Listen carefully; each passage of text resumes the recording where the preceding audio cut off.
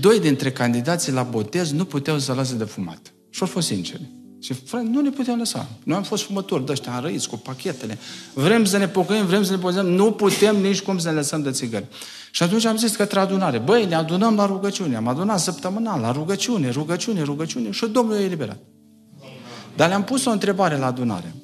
Și am zis, fraților, surorilor, vă rog frumos să-mi spuneți care din două păcate care vi le spun îi mai grav.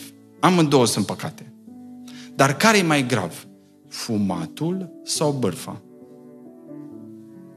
Care e mai grav? Spuneți dumneavoastră. Păi și cum se poate că dacă ar fi unul cu țigare aici, îl bacem cu joarda? Și dumneavoastră, unii ați intrat în seara asta, ați bârfit, ați clevetit, ați vorbit de rău, ați osândit, ați condamnat și stați liniștiți în biserică fără nicio problemă. Păi cum asta?